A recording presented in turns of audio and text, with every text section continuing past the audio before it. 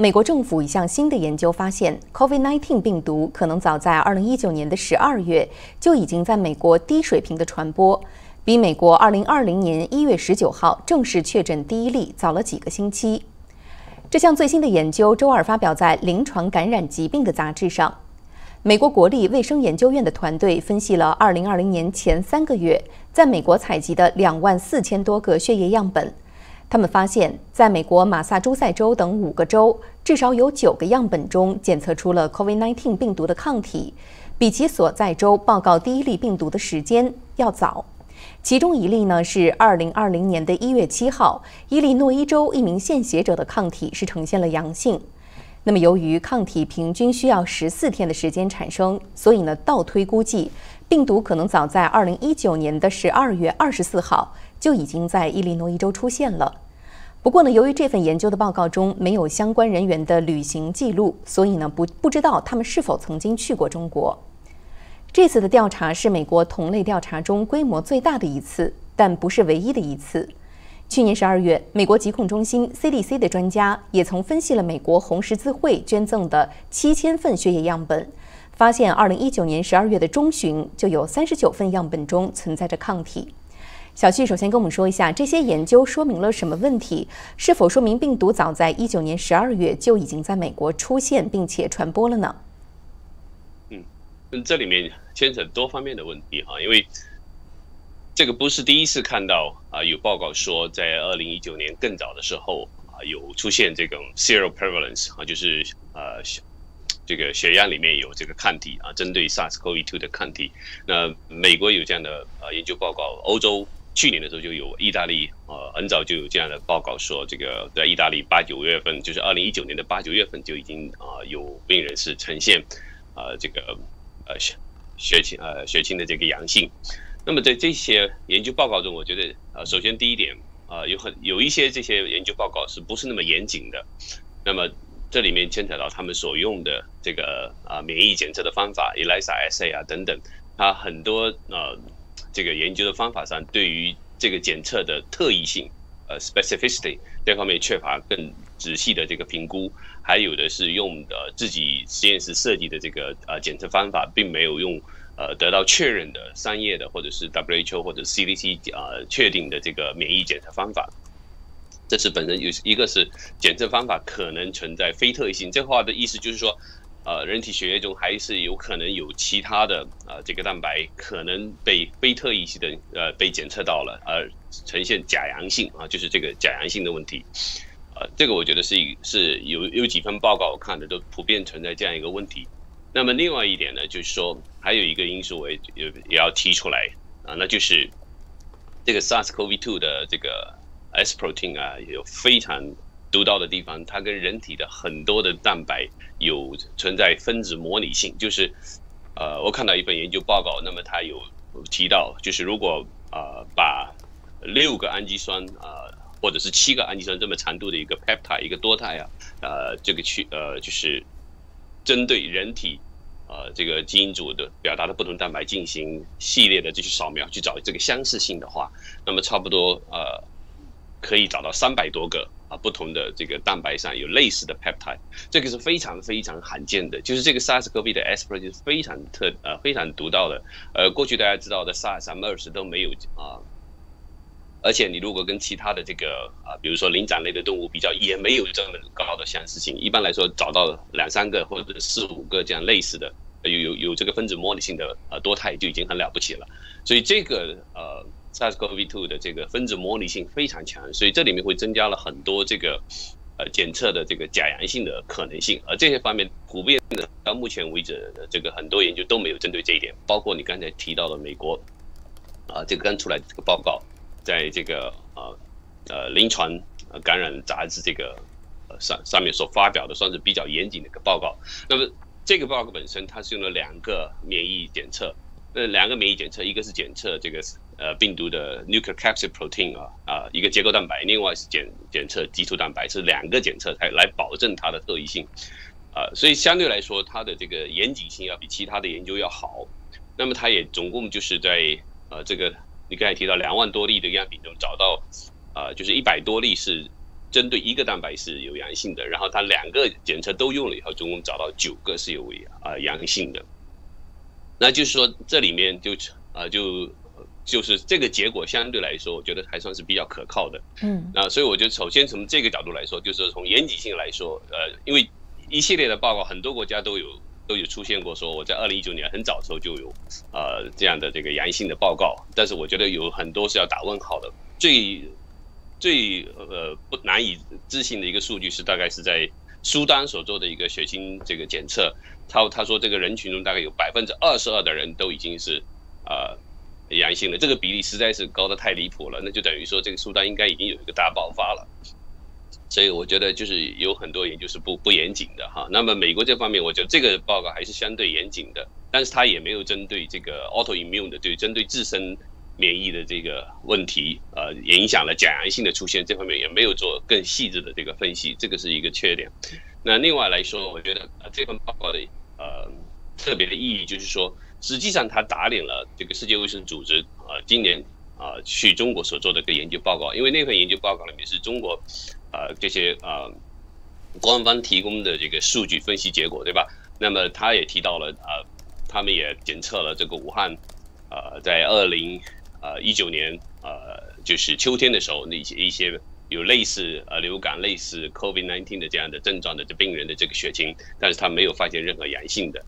呃，所以这一点就是我觉得比较难以呃置信，因为从从美国美国这份报告还有其他国家报告，就是说基本上你会理解啊一个基本的概念，就是在一个疫情在在一个地方爆发大爆发之前。那么这个病毒肯定在这个社区有一定的呃流行，那么很多人是不是刚开始是没有症状的？这个病毒刚感染人群时候，它也有一个适应的过程，应该是这样子。那么就会有一些人会在这个血清中有已经产生针对病毒的抗体。如果完全没有，突然间出来的话，就是很奇怪的现象，对吧？所以呢，呃，所以美国做这样一个检测的话呢，它就能够找到个别的这个样本是有阳性的话。那反过来就是说，实际上你世界卫生组织所谓的这个调查，你中国官方所提供的这些数据，其实是不可信的。就好像刚才说，呃，比如说我一个人你偷吃了蛋糕，然后你要你要撒谎，但是你说我没有吃没吃，可是你却把嘴巴抹得特别干净，连嘴皮都磨掉了，那让人就觉得这个是不是做的过分了？就是就是这个，呃，完全没有一个阳性的话，就觉得让人不敢相信啊。所以我觉得这一点是。那么反过来，另外一个问题就是说，即使是血清阳性，也不能完全证明就一定是有感染的啊，因为毕竟是没有得到啊这个病毒的样本。就是说，如果你有一个病例啊，你能够分从这个样本中确切检测到这个啊病毒啊，那又是另外一回事。然后最好就是呃，他的旅行史啊、临床临床诊断都完全匹配，那么就比较能够确定这是一个很早的一个病例。那现在这部分研究里面还对这方面也还是欠缺的。是，我们可以从这个血液样本、样本、样本、样本里面，能够去进行病毒的分离，然后从而进行基因测序吗？因为我们知道，如果这样做的话，可能就会知道它这个病毒株，它的基因族谱到底是来自哪里。我们看到很多疫情爆发第一例，它的族谱追踪下去都是武汉的这个毒株。现在可以做到这样吗？嗯，呃，这个是很有意思的问题，因为我细看了一下美国这份报告呢，它实际上。之所以能拿到这个样品，是因为当初他这个研究叫做一个 All of Us Study 啊，它本身就是特意在美国的很多人群、不同的种族人群中收集他们的这个血样，而且是有意识要想要做进行测序的，所以它这些样本的保存上面，它肯定是比较充分的。呃，那有可能能够做呃这个呃，比如说做这个 RNA 的提取，然后就是进行这个测测序，看看能不能找到这个全病毒的这个序列等等，呃。所以，美国这些样品倒是我觉得有可能后续也可能会有这个基因测序的这个呃报告。呃，那另外一方面呢，就是呃，如果比如说像像中国这一方面，因为基本上是只是常规的医院的啊这些啊病人的样品收集过来，那么很多样品它不见得有有这个长期保存。那么呃，如如果不是在负八十度或者是液氮的情况下保存，那么已经一年半过去了，那里面的这个 RNA 什么都会降解的很厉害，基本上你很难得到比较理想的一个测序的结果，就是很多 RNA 都已经支离破碎降解掉了，所以这个我觉得对于整个基因测序的话是很难的，所以现在要追溯啊，从病毒的这个基因序列上或者某某个病毒蛋白的这个序列上进行追溯的话，肯定有很大的难度。是，您刚才也提到说，世卫的这个报告提到，中共他自己宣称，他对他武汉周边2019年秋季的一些血液样品进行了一些检测，说没有抗体。可是我们也知道，世卫第一阶段调查团的他的成员，他二月份说，他们敦促中共对2019年秋季在湖北周边收集的这血液样本进行更广泛的检测，但是中共的一些部门是回复说，他们没有权限。没有获得这样的权限来测试血库里的样本，所以到底是测还是没测？所以这里面就牵扯到世界卫生组织，他们已经注意到，就是比如说在武汉，那么呃，在二零一九年这个秋天的时候，他他大概有九十个病人的这个样呃这个症状，它是很接近于 COVID-19 的。那么当然，这个世界卫世界卫生组织这些呃专家就会要求啊，你对这些样品做进一步的检测等等，对吧？那呃，中国方面 就是。呃，就牵扯到，就是说，到底想不想真的配合的问题啊？因为大家都知道，在中国这个体制下面，呃，如果官方要求检测，那怎么可能是呃没有权限的问题呢？而且这个整个呃这个世卫组织去调查的话，其实是中中国官方从一开始就有呃这个权限，就是说甚至能够决定世界世界卫生组呃世界卫生组织能够派哪些官员在呃这个呃调查团之中的。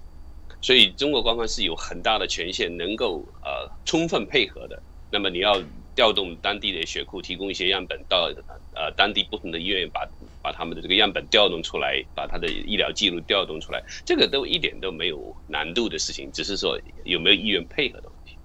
嗯，是，就像您刚才讲的，它是一个有没有意愿配合的问题。那如果就像中共现在自己所做的，他就宣称。他测了，但是没有这样的抗体。那现在好像反而变成了一个局面，就是谁主动，比如说像美国现在他主动去测2020年3月份这个大面积的血液样本的话，好像是谁更主动，谁更有透明度，谁更好像面对一个不利的局面。因为我们也看到，美国昨天把这个呃报告发布出来以后，中共官方非常的高兴，立刻大面积的转发，好像非常符合他一贯的论调，就是这个病毒来源于美国。所以您怎么看这个情况呢？呃，那实际上还是牵扯到一个呃非常重要的两个概念的区别吧，一个就是这个疫情溯源，还有一个病毒溯源的问题嘛。呃，以前讲过，就是这个关键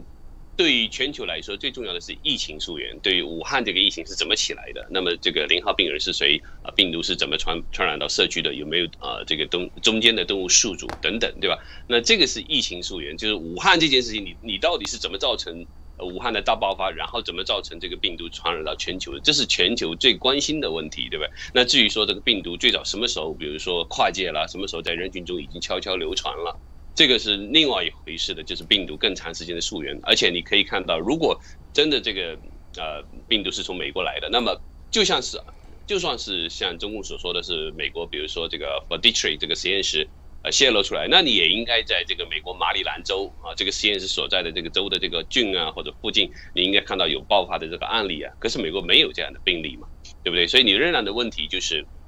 武汉这个疫情是怎么起来的，对吧？然后你是怎么把它传到全球去的？所以中共当然这个对于呃国内的这个大内宣来说，当然它是要大面积渲染这件事情，让更多的中国人相信啊，这个病毒来源于美国。所以我觉得这是中共自己维稳的需要而已。